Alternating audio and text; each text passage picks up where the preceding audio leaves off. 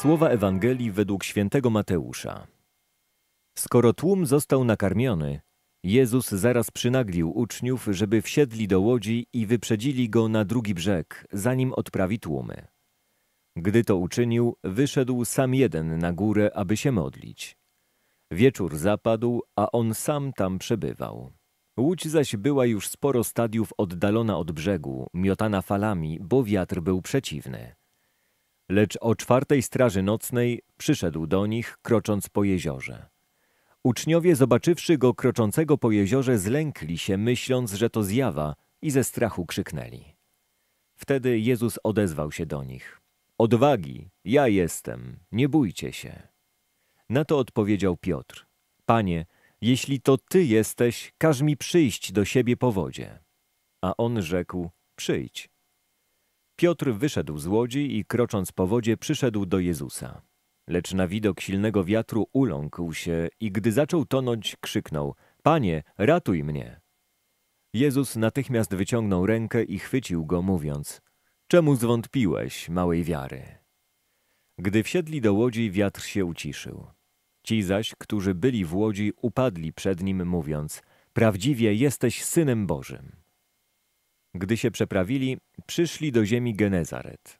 Ludzie miejscowi, poznawszy go, rozesłali posłańców po całej tamtejszej okolicy, znieśli do niego wszystkich chorych i prosili, żeby przynajmniej frędzli jego płaszcza mogli się dotknąć.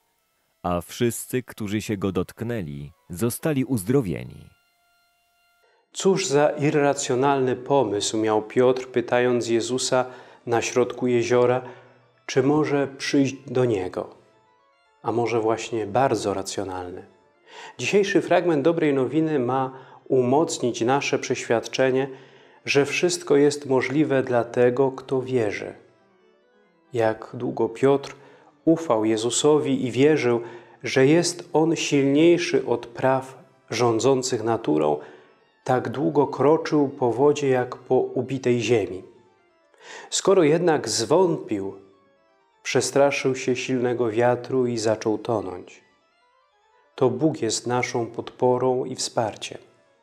Silna wiara pozwala nam nie tylko chodzić po wodzie, ale umożliwia dokonywanie jeszcze większych cudów. Wiara jest jak dłoń Boga, który jest obecny i działa w naszym życiu. Nie chodzi przecież o jakieś magiczne sztuczki, ale o działanie dla dobra człowieka, o działanie zgodne z wolą Bożą. Wiara jest silniejsza niż muskuły wszystkich siłaczy razem wzięte. Jest potężniejsza od siły militarnej wszystkich światowych mocarstw. Wiara jest zdolna wyprowadzić człowieka z największych tarapatów, rozwiązać kajdany niewoli, uwolnić z choroby nowotworowej, a nawet wskrzesić z martwych. Wiara jest siłą pozwalającą nawet przekroczyć bariery czasu i przestrzeni. Czy potrafimy jednak z niej korzystać? Czy mamy wiarę i ufność w Bogu? Rozwijajmy naszą wiarę, która jest więzią z Bogiem i pozwólmy Bogu działać w naszym życiu.